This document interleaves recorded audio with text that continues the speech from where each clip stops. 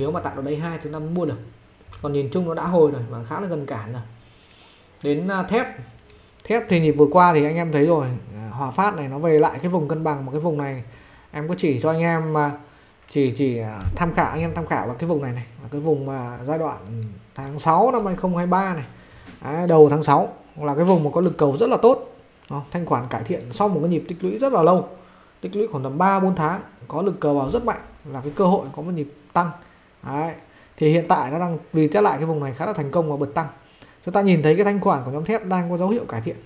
À, nhóm thép và nhóm bất động sản đang có dấu hiệu cải thiện. Về cái trục cái trục của thanh khoản đây đúng không ạ? Và đây là cái trục giá của của nhóm thép.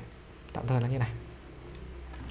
Trục giá tăng lên trục thanh khoản tăng lên chứng tỏ là dòng tiền có dấu hiệu quay trở lại. Áp lực bán tất nhiên nó cũng có nhưng mà nhìn chung là cái phe mua đang có dấu hiệu đang có dấu hiệu là tiến lên.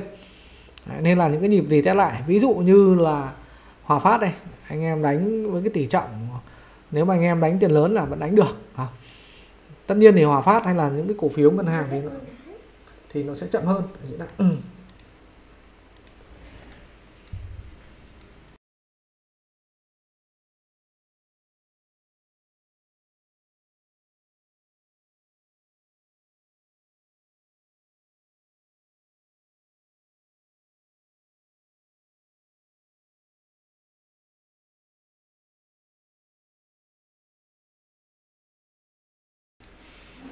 Hòa Phát thì à, hôm trước cũng có một anh em khách hàng nói với em là anh anh ấy có hỏi là Hòa Phát với lại Novaland thì à, em có chia sẻ là nếu mà anh em đánh vốn lớn thì anh em chọn Hòa Phát, anh em đánh vốn nhỏ mà thích phiêu hơn thì anh em chọn Novaland. Hai cái cổ phiếu này đều có cơ hội đều có cơ hội tạo đáy ở cái những cái cái cái cái phiên cái tuần vừa giờ Đấy.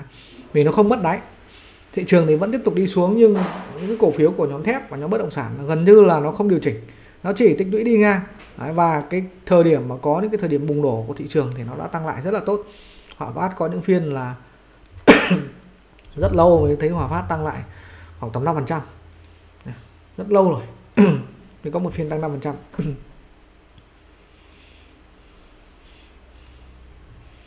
à, Hòa Phát anh em chú ý được nhé. Kể cả như Hoa Sen hay Nam Kim. Khi mà Hòa Phát tốt thì Hoa Sen Nam Kim sẽ được gọi là củng cố cái tinh thần củng cố tinh thần tốt hơn đúng không ạ? Hoa sen năm kim thì cũng ok. Đấy. cứ đỏ đỏ ví dụ như hoa sen này nó test lại cái vùng Kijun này loanh quanh vùng 18 18.5 này là anh em mua trước một phần. Nam Kim cũng vậy. Nam Kim cũng vậy loanh quanh cái vùng giá 10 cũng 18.5 hai con này là giá nó thường xem xem nhau anh em nhé. Dầu khí dầu khí thì cũng sau một cái nhịp à, uh, rơi thì nó cũng đang bắt đầu có những nhịp hồi phục tuy nhiên thì cái nhịp rơi vừa giờ nó không quá lớn. Và nó không quá lớn nên là cái nhịp hồi này thì nó lại gặp cái vùng cản nó khá là gần. Nên là nhóm dầu khí thì em cũng cũng cũng uh, gọi là hơi e ngại một chút ở trong trung hạn. Vì cái lượng hàng ở ngay trên đầu nó đang khá là nhiều. Và cái nhịp điều chỉnh chiết khấu nó chưa đủ sâu. Nên cái lượng hàng anh em kẹt ở quanh cái vùng ví dụ như PVD này loanh quanh cái vùng 25 vùng 26 27 nó rất là nhiều luôn đúng không ạ? 26 27 28 hay bây giờ nó đang gần 26 rồi nên là anh em có mua ấy thì đợi nó reset lại cái vùng vùng vùng nền dưới này, này cái vùng tím tím dưới này thì anh em mua thôi. Còn nắm lâu dài thì chúng ta phải đợi xem là nó phản ứng ở cái vùng này như nào. Vì cái lượng hàng chúng ta thấy này anh em thấy là cái volume ở cái vùng này nó đang rất là lớn đấy. Đang rất là lớn ở quanh cái vùng trên này. Nên là chúng ta phải chờ thôi. Nhóm này thì à, cũng không kỳ vọng quá nhiều chỉ kỳ vọng một nhịp hồi thôi. Nên kể cả những BSR những con vốn hóa rất là lớn trên này. Thì cái lượng hàng người ta kẹt ở trên cái vùng giá với BSR là cái vùng 20 21 à, không phải là nhỏ. Hiện tại đang vùng 10 loanh quanh vùng 18 5 18 6 thì lên vùng 20 21 thì cái dư địa nó không được nhiều lắm đúng không ạ? Không được nhiều. 18 năm lên 20 21 thì cũng chỉ được loanh quanh khoảng tầm 7 10 phần trăm 7 đến 10 phần trăm mấy phiên vừa giờ thì cũng có báo anh em bắt PVT ở quanh vùng 22 cộng trừ đúng không? Đấy, PVT thì cũng chỉ đánh một nhịp hồi thôi. Nhóm này nhìn chung là đánh nhịp hồi thôi anh em nhé. Đấy, nếu mà nó có đi tới lại cái đáy thì anh em chơi còn không là nó có hồi lên rồi thì chấp nhận bỏ qua.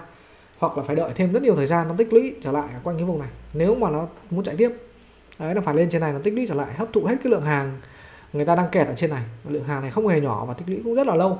Kể cả như PVT, PVD hay là PVC đều lượng hàng kẹt ở trên này rất là nhiều. Và chúng ta phải chờ đợi nó lên trên này nó re, gọi là nó hấp thụ hết cái lượng hàng ở đây. Reset lại dòng tiền và đi lên thì nó sẽ ok hơn.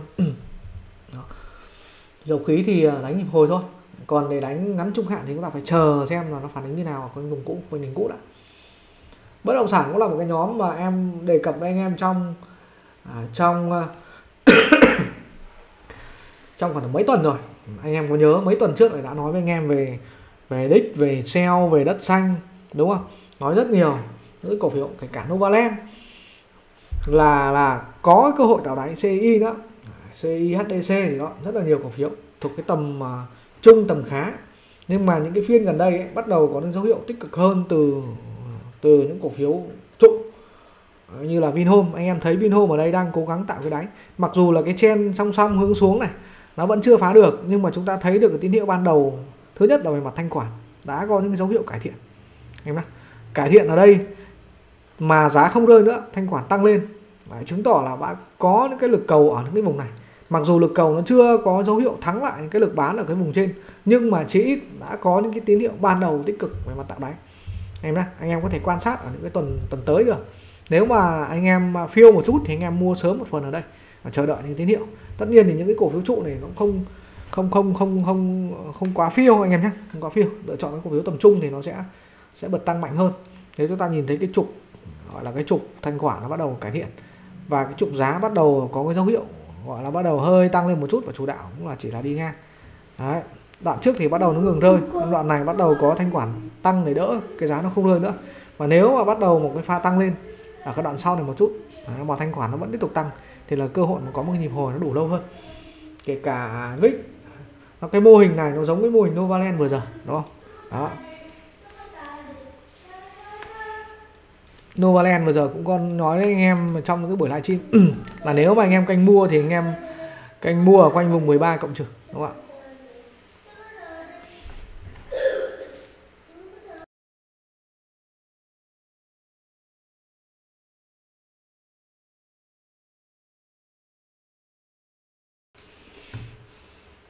Đấy, Novaland này đúng không ạ? Nó tích lũy đi ngang thị trường thủng đáy rất là nhiều lần nhưng mà Novaland gần như nó chỉ đi ngang nó đi ngang từ lâu rồi anh em nhé đây này từ 18 tháng 10 bắt đầu đi ngang.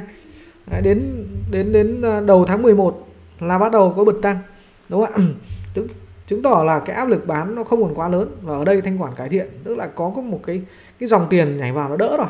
Anh em thấy cái thanh khoản bắt đầu cải thiện lên. Đấy, những cái phiên mà thanh khoản thấp sau đó là thanh khoản cải thiện lên khá là khá là rõ luôn. Đấy, anh em nhìn zoom nó lớn hơn một chút đấy đúng không? Đó.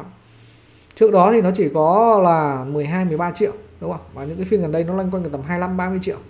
Là cái tín hiệu tích cực. Nó gấp đôi đấy. Khoảng tầm một tuần gần đây là thanh khoản có dấu hiệu tăng lên cải thiện. Đáng kể. Mặc dù là chưa quá đột biến như cái vùng đỉnh này, nhưng mà chúng ta cũng có những cái sự kỳ vọng là cái nhịp hồi nó đủ xa. Ví dụ như à, cái vùng đáy nhịp vừa giờ lên quanh 14 thì chúng ta kỳ vọng lên quanh quanh vùng 17 à, cũng là một cái nhịp sóng nó cũng cũng cũng đủ à, đúng không ạ? mười mấy phần trăm, hai mươi phần trăm là ok rồi. VRE cũng đang cố gắng à, cố gắng tạo đáy.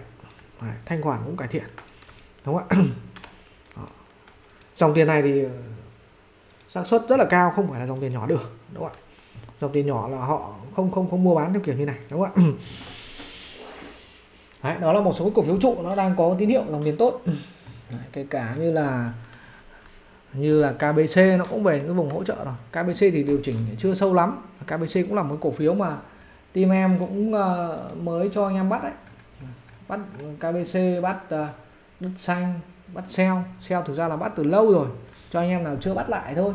Sell 18 đã báo uh, anh em mua từ khá là lâu rồi và ăn được cũng được vài vòng rồi. Nhịp này anh em chưa có thì anh em canh thôi. KBC đất xanh và đây à, và và và đúng rồi và sell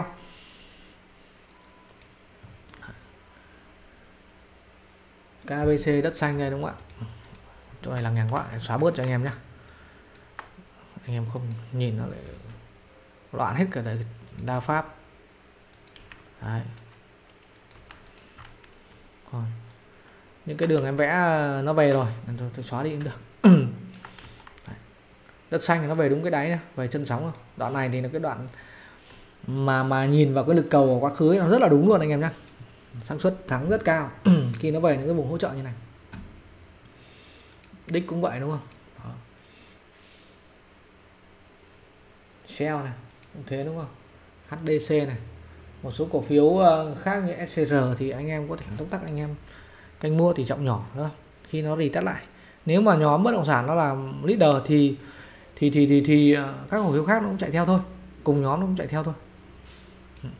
Nhưng thông thường ấy một cái cái, cái nhóm ấy nó sẽ có một vài mã nó leader.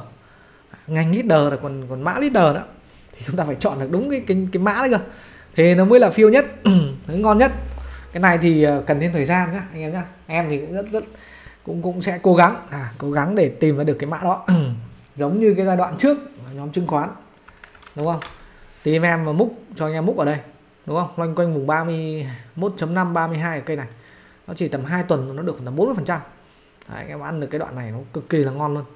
Đấy leader nó là như thế anh em nhé tức là trong một cái nhóm nó lại có một cái mã nó lại đột biến hơn.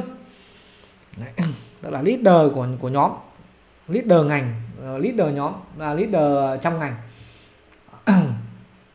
Dẫn dẫn dắt cái ngành đó. Nên anh em nào mà cần à, cần săn đấy săn cổ phiếu ngon cổ phiếu đẹp cổ phiếu leader ấy, thì inbox nhá về team em đại nhá. Tạm thời thì chưa xuất hiện vẫn chưa xuất hiện đâu nên là chúng ta cũng vẫn tiếp tục phải chờ thôi. Đúng là mình ờ, canh me canh me từng cái tín hiệu nhỏ một. Em đại cũng đang ờ, đang theo rất là sát. Và khoảng tầm mấy tuần gần đây thì cũng nhận định nó tương đối là ổn đúng không? Tương đối là ổn. Đỡ cho anh em ờ, thiệt hại ở cái giai đoạn 1 2 40 và bắt đầu kiếm được lợi nhuận cho anh em trong khoảng tầm 3 phiên gần đây. Đấy, bắt đáy thành công rồi. Đó, bắt đáy rất là nhiều nhóm ngành luôn. Đó, anh em nhé rất là nhiều nhóm ngành luôn nếu mà giai đoạn này thì anh em bắt ấy, là auto thắng đúng không? À không phải là auto thắng mà à, gần như cổ phiếu nào nó cũng sẽ tăng nhưng mà sau đó là nó sẽ bắt đầu nó lại phân hóa. Bắt đầu nó phân hóa. Em vẫn hay dùng cái từ là nhà ngói như nhà tranh giảm thì giảm đồng loạt và tăng thì tăng đồng loạt là những cái viên mà bùng nổ ấy. nhưng mà sau đó những cái phiên sau đó thì bắt đầu lại ông nào mạnh ông nào yếu nó bắt đầu lại phân lại. Đấy, giai đoạn đó mới là cái giai đoạn mà chúng ta lại phải đi săn nó kỹ càng hơn là mua mã nào mua ngành nào. Đấy, thì mới mới có tỷ lệ có ăn cao được. Đó, thì anh em nào mà cần à, cái tư vấn cần cái sự hỗ trợ thì cứ liên hệ nhá. Mỗi một giai đoạn khác nhau nó sẽ có những cái nhóm khác nhau. Đấy, cái này thì cũng chia sẻ với anh em rồi. Để mà kiếm được lợi nhuận lớn thì à, cái cái tiên quyết đầu tiên là chúng ta tránh được sập. Mua nếu mà trong uptrend ấy thì con nào cũng thắng chẳng qua là thắng ít thì thắng nhiều thôi. Mà nếu muốn giữ được cái cái à, cái cái lợi nhuận ấy thì chúng ta phải tránh được sập. Tức là chúng ta phải tìm ra được cái vùng nào mà có cái cơ hội à, có cái khả năng mà đảo chiều và giảm mạnh thì chúng ta thoát ở cái vùng đó. Đấy. mà để mà chúng ta ăn được lớn thì chúng ta phải tìm được cổ phiếu mạnh tìm được nhóm ngành mạnh đó. Đầu tiên là muốn không thua thì à, tránh được sập. À, cái điều đấy cũng cực kỳ quan trọng anh em nhé rồi muốn thắng thắng mạnh thắng nhanh thì tìm được leader.